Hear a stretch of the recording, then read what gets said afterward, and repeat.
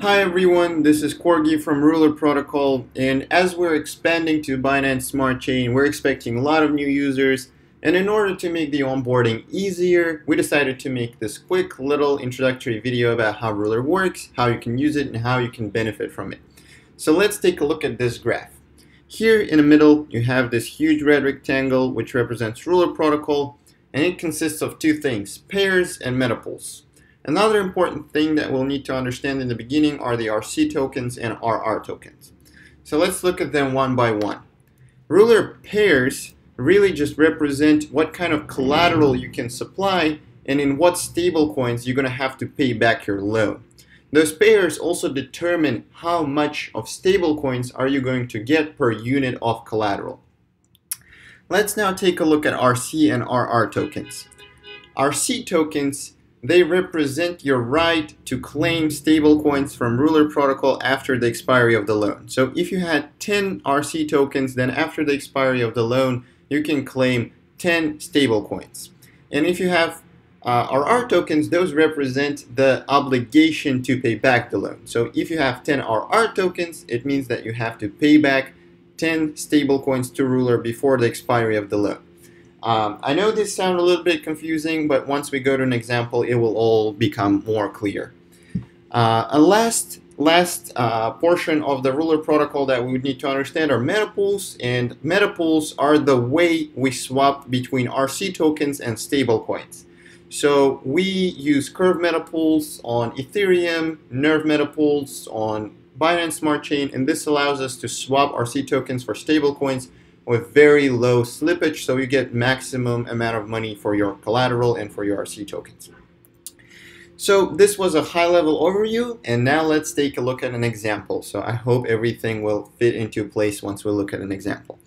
So let's say we have Bob, the borrower, and he happens to have some wrap BNB. He wants to hold on to it, but he still needs some stable coins for some reason, right? So what can he do? He can go onto Ruler and he'll notice that there's a wrap BNB BUSD pair.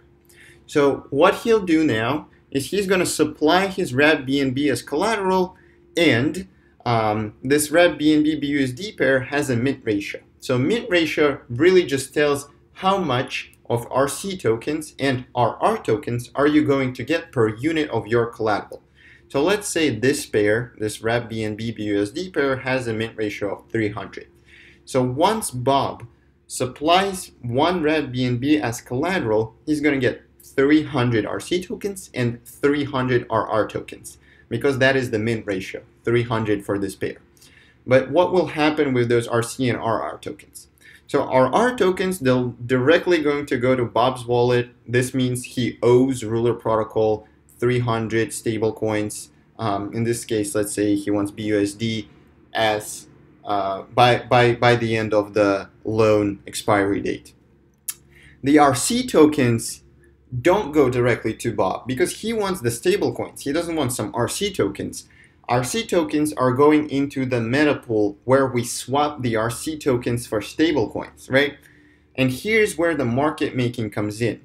Since Bob was the first borrower, the, the balance in this meta pool, which is an AMM, is pretty good, right? So RC, the amount of RC tokens and the amount of BUSD tokens in the pool is proportionate, uh, is equal, for example. Um, as he supplies his wrap BNB, RC tokens are minted, 300 RC tokens, and they're supplied into this meta pool, right? The amount of RC tokens goes up, and the corresponding like the corresponding amount of BUSD goes out of the meta pool, right? And he's gonna get some BUSD almost equal to the amount of RC tokens that were minted. So if he was minted 300 RC tokens, then he would get almost 300 BUSD because there's still some slippage, right, in the pool. So this was a pretty good deal for him. But what if another borrower comes in, also supplies one wrap BNB, also mints 300 RC tokens, right? Because that's what happened when you provide collateral. He also gets 300 RR tokens. His 300 RC tokens go to the same pool. There's more RC tokens now, even less BUSD in the pool now. So for every RC token, he gets smaller amount of BUSD than Bob did. So this um, loan is not as interesting for the second borrower as for Bob, right? Because he's going to get less BUSD. And that is where his interest comes in. So at the end of the expiry, he still needs to return 300 BUSD because that's how many RR tokens he has. And RR tokens represent the amount of stablecoins you need to return, remember? But the thing here is that for his RC tokens, he gets less than 300 BUSD, right? And that is where the interest comes in. But this is also a very good opportunity for lenders because given this this balance, Alice has some stable coins. She has some BUSD and she wants to make some money. So she sees this situation and she supplies some BUSD and gets some RC tokens in return. So she's a lender. So this is what happens. Because there's so little BUSD and so many RC tokens, once she puts BUSD here, she will get a lot of RC tokens. In fact, she will get more RC tokens than she put BUSD. So let's say she put 100 BUSD, then she'll get 110 RC tokens, for example. So why is this important? Let's now look and move closer to the expiry of the loan period. So before the expiry, uh, Bob is responsible and he gives his 300 RR tokens, right? Because that's how much was minted 300 RR tokens and 300 RC tokens. He repays 300 BUSD because he's returning 300 RR tokens and he has to repay the same amount of stablecoins and he gets his collateral back. Then what Alice can do is she can send her RC tokens and get BUSD back in a one-to-one -one proportion. So she has 110 RC tokens, so she's going to get 110 of BUSD back. And remember, she only deposited $100 to get 110 RC tokens. So she profited 10 BUSD. So this is uh, an overview of how the protocol works and what is the importance, what is the part that market plays in all of this. So now let's just connect this to our user interface and see how the users actually interact with the protocol. So this is a very new UI that we just recently released. It's a light UI. It should be very simple to interact with. And let's just take a look at what the user will encounter when the user goes on the apprulerprotocol.com. So if you're the borrower, you would want to select what kind of collateral you want to provide.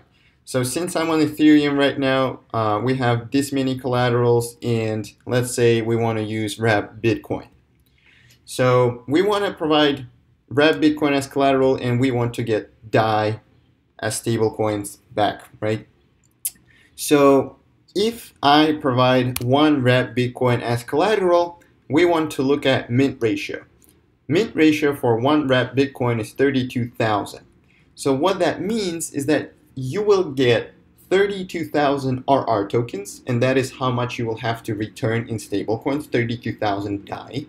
And 32,000 RC tokens are going to be minted, sent to the metapool, and exchanged for stablecoins.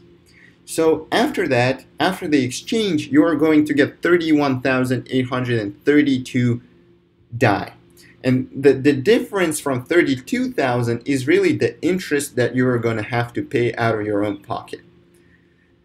Okay, so if you are the lender on the other side, you will go onto the lend page, and here you will also select a collateral, um, a stablecoin that you would like to provide, and I'll explain why do you need to select a collateral.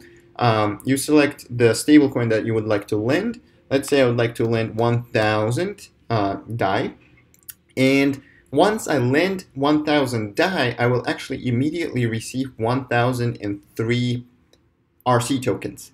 So once the loan expires on May 31st, I can come with those 1003 RC tokens, provide them to Ruler Protocol, and get 1003 DAI back. So 3 DAI is my profit on this lend. So I hope this was uh, helpful. I thought this was clear. I, I hope if you enjoyed watching this video, uh, please let us know. If you have any questions, leave them in the comments to this video or go to our Discord or, or Telegram. We're very responsive.